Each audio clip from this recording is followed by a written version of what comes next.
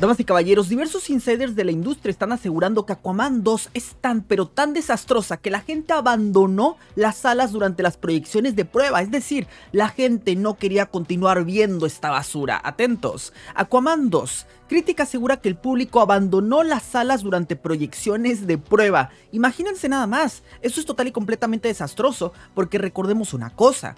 Básicamente están diciendo que la gente abandonó Aquaman, la gente vio Aquaman como una porquería de película, pero esa misma gente habría pensado que The Flash es una de las mejores películas de superhéroes de todos los tiempos.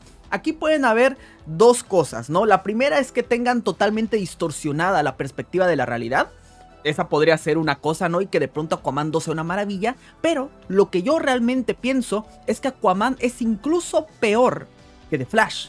Realmente eso es lo que yo pienso, que Aquaman es una película todavía peor que The Flash y que se viene un absoluto desastre. ¿Y por qué podemos saberlo? ¿Por qué podemos pensarlo? Muy simple chicos, ¿cómo es posible que Warner haya tardado tantísimo tiempo en lanzar el tráiler de Aquaman? ¿Cómo es posible que hayan tardado literalmente meses en anunciar un tráiler? Que a ver chicos, estamos a mediados de septiembre. ¿Por qué se tardaron hasta mediados de septiembre en lanzar un tráiler de una película que sale en diciembre? Esto no es normal, esto no es usual, todo lo contrario, eso es extremadamente raro. Y básicamente cuando pasa algo así significa que la película es un desastre. Significa que Warner no cree en este proyecto, que piensan que va a ser un fracaso. Y ojo, esta no es la primera vez que tenemos un rumor así. De hecho, ya había sonado como lo siguiente, atentos. Aquaman 2 sería un gran desastre según proyecciones de prueba. Cuatro fuentes distintas han declarado que la película necesita ser arreglada urgentemente antes de su fecha de estreno. Este artículo, 27 de febrero del 2023. Esta información es muy importante aclararlo, viene de insiders bastante más fiables, como por ejemplo en este caso Grace Randolph lo llegó a comentar y también My Time to Shine Hello. Es decir, estos insiders comúnmente suelen ser bastante más acertados y básicamente la gran mayoría de youtubers, de medios de comunicación se hacen eco de lo que ellos comentan. Por eso es que aquí vemos este artículo de Wokmatazos mencionándolo. Y aquí vemos que nos dicen, la secuela podría convertirse en un nuevo fracaso para Warner y su DCU. Y de hecho, a ver, se los digo, todo pinta muy mal. Recordemos que incluso ya se dice que todo dentro de, eh, de la película fue desastroso. Que Amber Heard supuestamente fue maltratada por Jason Momoa. Por favor, sumamente ridículo. Pero sí, eso es lo que se está mencionando. Que supuestamente Amber Heard fue maltratada por Jason Momoa. Recordemos que incluso según Jason Momoa iba vestido como Johnny Depp a las grabaciones, basadísimo por cierto si esto es real, pero bueno, según iba vestido como Johnny Depp para burlarse, reírse y humillar a Amber Heard. Honestamente, si esto es real sería extremadamente épico. Pero bueno, también hay una cosa bastante interesante. Recordemos que básicamente se está comenzando a, a correr el rumor de que Warner Bros. Discovery cree que la película de Aquaman será tan pero tan fracasada, tan pero tan mediocre, que prefieren ni siquiera invertir en publicidad, que prefieren incluso abandonarla, dejarla a la deriva y honestamente no me sorprende. Es probable que en Warner ya no quieran gastar más en una película que saben y les consta que será un fracaso. Recordemos una cosa, básicamente este año tuvimos fracasos como el de Shazam, Shazam la furia de los progres, que fue una película que fue un fracaso absoluto. También tuvimos The Flash. Les recuerdo que decían que The Flash sería quizás la mejor película de superhéroes de todos los tiempos y si no la mejor, una de las mejores. Y miren nada más cómo acabó, siendo un absoluto fracaso en toda la extensión de la palabra. Incluso se dice que The Flash costó muchísimo más. Aquí nos dicen 200 millones. Se dice que en realidad costó 300 millones por las múltiples regrabaciones. Entonces imagínense el nivel del desastre de The Flash. Y bueno, ante catástrofes y fracasos de este nivel, de esta magnitud, y si a esto le sumamos el tema de Black Adam, pues evidentemente uno se queda pensando, a ver chicos, era obvio y era lógico que en Warner se iban a dar cuenta de que hay una crisis brutal y por eso es que decidieron no invertir en una película como Blue Beetle, no invirtieron en publicidad, esa es la realidad, recordemos que invirtieron prácticamente, a ver, una cosa súper ínfima, por lo tanto, aunque Blue Beetle fue un fracaso, esto es una realidad, Blue Beetle terminó fracasando en taquilla, no lo fue tanto o su situación no fue tan desastrosa gracias al tema de que no invirtieron en marketing.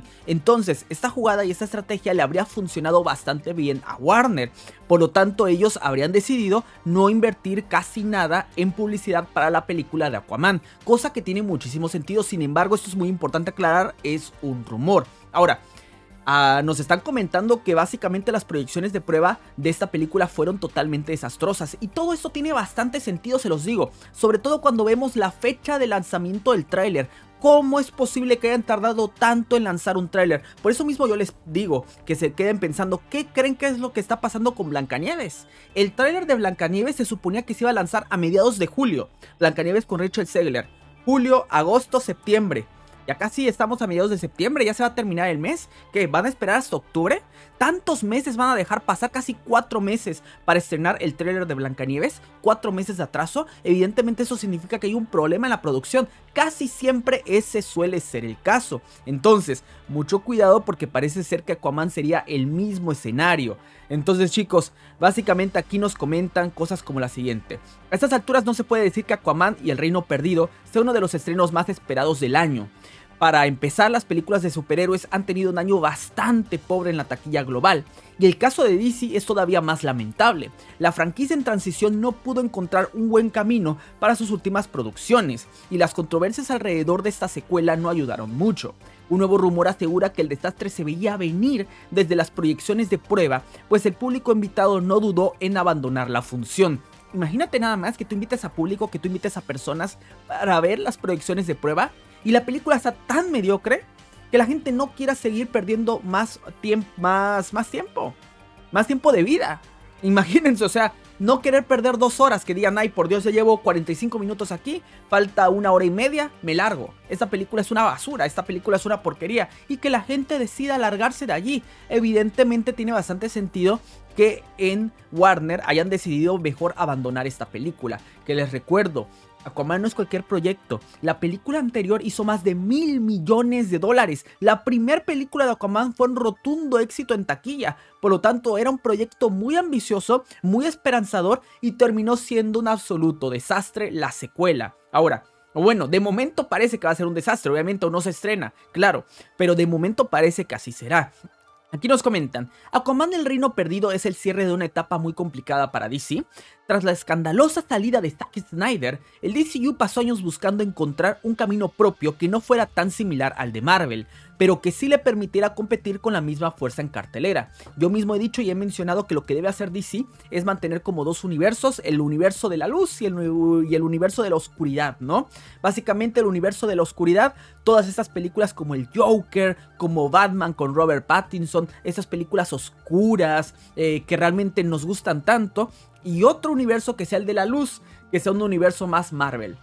Para eso están contratando a James Gunn, ¿no? Básicamente yo así es como lo manejaría. Yo creo que sería una muy buena estrategia y que las películas no se mezclen entre sí. Me parece que es la mejor opción para Warner, pero sí, necesitan explotar esta franquicia de alguna forma y no lo están logrando. De momento no lo están consiguiendo. Ahora, aquí nos comentan, parte del problema también fue que la producción de esta secuela fue muy complicada. Por ejemplo, se dijo que James Wan estaba harto de los reshoots y las alteraciones que la productora pedía, pues los ejecutivos cambiaron varias veces de opinión sobre el corte final, porque no sabían si lo usarían o no para los próximos planes del DCU de James Gunn.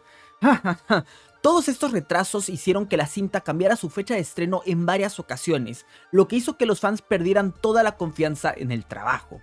Las proyecciones de prueba de Aquaman fueron un fracaso, vale. Ahora nos comentan, ahora que el primer tráiler de la película por fin se estrenó, el público sigue sin estar convencido y es que nuevos rumores apuntan a un desastre monumental cosa que tiene sentido, les repito.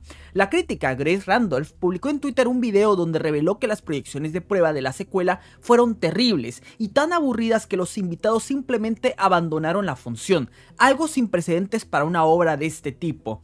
Recordemos chicos que este fue básicamente el video que se publicó de Grace Randolph y aquí My Time to Shine Hello diciendo esto es correcto, es decir, confirmando la noticia. Por lo tanto, ya que ya tenemos múltiples fuentes y esto significaría que es altamente probable de que este rumor sea real. Es muy, muy probable de que sea real. Ahora, aquí nos comentan. Eh, esta información fue confirmada por otros insiders, aunque no se dieron más detalles al respecto y de momento la empresa no ha dado ningún tipo de respuesta, aunque tampoco se espera que lo hagan. Nunca lo hacen, ¿va? Obviamente, a ver, ¿cómo esperamos que agarren los de Warner y digan confirmo?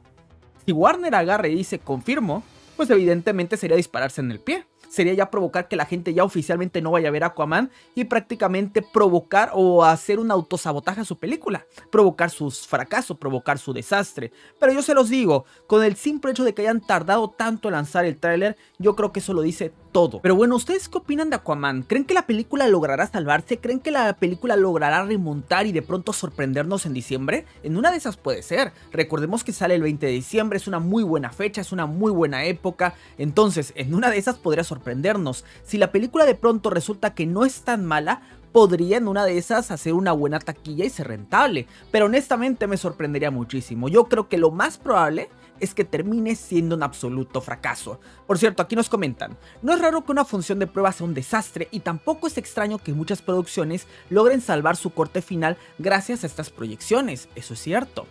Eh, pero el que los asistentes abandonen el barco de esa manera es algo muy distinto y habla del contexto general que se vive dentro y alrededor de Warner Bros. Discovery y su DCU. En estos momentos nadie espera que Aquaman funcione bien, y si las huelgas siguen activas durante su estreno, padecerá de una caída todavía más lamentable sin publicidad ni apoyo de los involucrados. A ver chicos, básicamente hay una cosa bonita por lo menos, una cosa bonita del fracaso de Aquaman, y es que este sería el fin un fin trágico, por cierto, un fin bastante eh, lleno de fracaso en la carrera de Amber Heard. Porque sí, o sea, la carrera de Hollywood, el estrellato súper brutal de Amber Heard, yo creo que aquí se termina. Me sorprendería que siga teniendo papeles súper grandes como el de Aquaman. Realmente a mí me impactaría bastante. A ver, en una de esas si nos sorprende y sigue teniendo más papeles en Hollywood, porque pues son progres y son del Me Too y son feministas, ya sabemos cómo es esta gente, pero de momento yo creo que la verdad es que la situación para Amber Heard luce y pinta bastante mal. Damas y caballeros, espero que hayan disfrutado y gustado de este videazo. Muchísimas gracias por ver. La verdad es que lo de Aquaman pinta bastante mal. Y se los digo, todos los rumores indican que la película será un absoluto fracaso progre en taquilla. Damas y caballeros, muchísimas gracias y nos vemos en la próxima.